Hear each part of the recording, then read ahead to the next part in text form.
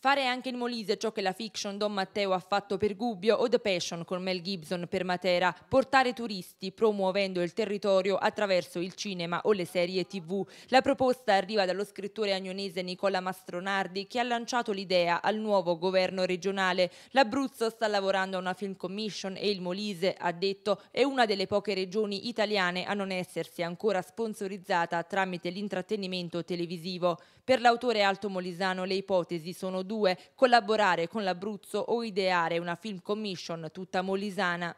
Eh, L'Abruzzo si è mossa in ritardo, ma ormai si è mossa, quindi io un appello lo farei alla giunta regionale, agganciamoci all'Abruzzo oppure facciamone una nostra, ma finalmente facciamo questa benedetta Film Commission, che è la cosa più...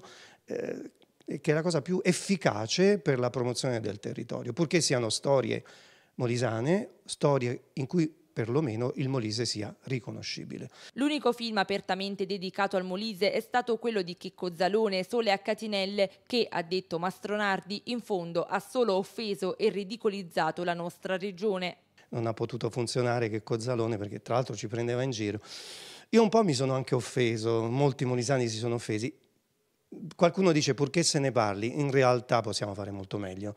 Lo scrittore agnonese, autore di Vite Liu e de I figli del toro, ha poi lanciato le proposte. Le storie da raccontare, ha detto, sono tante. Vitelio è il nome della libertà, è lì. È una storia che riguarda per il 60% il territorio molisano, è una storia epica, una storia che racconta all'Italia e al mondo la nascita addirittura di Italia, racconta la storia di un popolo, quello dei Sanniti, indomiti, che non hanno mai accettato per amore della libertà il dominio di Roma, una storia tragica, meravigliosa. È facile promuovere le proprie cose, ma se non è Vitelio, Vitelio c'è Celestino V, eh, c'è ci sono i, i, romanzi di autori molisani che possono essere assolutamente storie, ma anche storie scritte ex novo, purché si girino in Molise e che il Molise sia riconoscibile.